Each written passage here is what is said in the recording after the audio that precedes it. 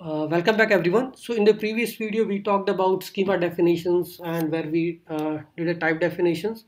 Inside that we created a queries and uh, resolvers. I mean queries and mutations and we define those queries and mutations in the resolvers. Now in this video we will do some changes in our code. Here we will just try to introduce the express server. So it is the recent changes with the Apollo server implementation that you can pass the express instance as a middleware and it will take care of all the other things like exposing this GraphQL web interface like query interface. So this is our resolver which we have written. Nothing it's just an empty. This is our schema okay? And in the index.js what we are doing is we just change this uh, we define the port. We are creating the express instance and we are passing it in the apply middleware. This is something newly added okay? And we are listening to the port now after this localhost 4000 port how we can access these queries and mutations which we have defined? So that is interesting and uh, so you can use this Altair. This is actually a add-on available on the Chrome and Mozilla. And what you just need to do you just need to hit this GraphQL endpoint and send the request. I think graph GraphQL should also be there. Yes I think we can use the another implementation of it.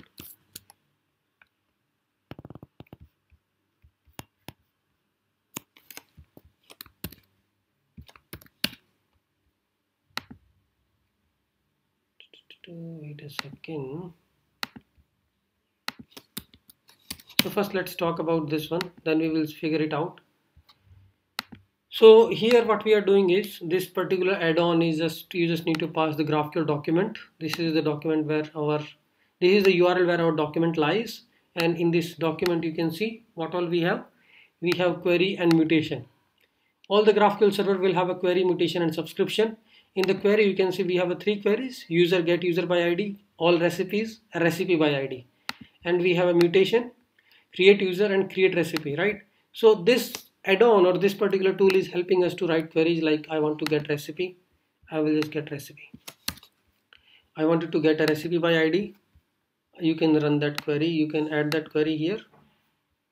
First of all I will just make it empty and add query. So you don't need to struggle while writing the queries or while writing the mutation. This is very easy tool.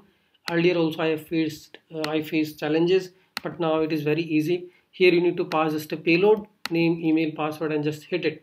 So currently our uh, APIs are not integrated with any data source so it is just a dummy values we are having. Like we are hitting this particular query. And let's see I think this is a query also there. I'm talking about this user ID so you have to pass the user ID it can be anything like one. It's a number. You can run the query and we are getting the user data null because we are not running anything for now. So you can send it. Okay so this is how you can help you can take help from this documentation. I mean you can you, you are able to visualize what is what all queries it is supporting what all mutation it is supporting and you are able to trigger them. Okay so this is the advantage of it and what changes we have done based on the Apollo server version 2 upgrade. Now we are we have created Express server. We are passing the Express server instance as a middleware. So that is exposing. We don't need to just use this GraphQL I GraphiQL Express now with this version 2. Okay, so that's it. In the next video, we'll extend this uh, code little further, and we are going to have a schema, multiple schemas and multiple resolvers for different entity models